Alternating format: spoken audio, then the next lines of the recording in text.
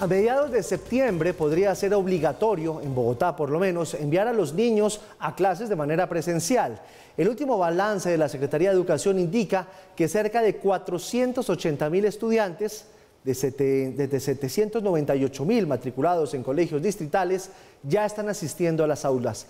Fabián Forero, ¿qué otros detalles se conocen de ese muy probable retorno que se va a dar en septiembre?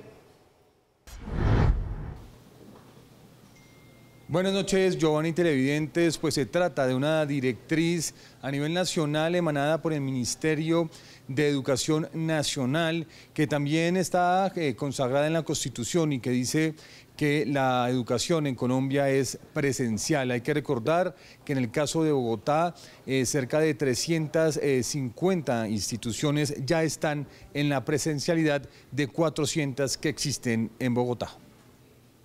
Bogotá pasó del 10% de educación presencial en febrero a tener actualmente el 60%, con más de 480 mil estudiantes asistiendo a los planteles. Con estas cifras en ascenso, el distrito planea la obligatoriedad de las clases presenciales desde septiembre. La directiva del ministerio es clara en el sentido en que hay tres casos excepcionales en los que los niños y las niñas podrían no ir al colegio, pero en Colombia la educación es presencial por constitución.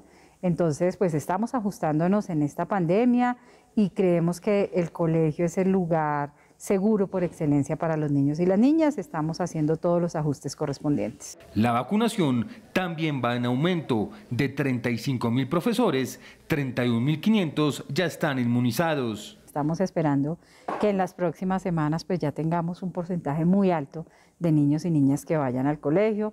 Nosotros hemos invitado incluso a los padres a que vayan. Muchos de los colegios están realizando actividades pedagógicas para que los padres y madres vayan a los colegios. Según la Secretaría de Educación, 288 jardines infantiles y colegios privados ya tienen clases presenciales. Esto quiere decir que hay 47.974 estudiantes en los salones y unos 7.102 docentes.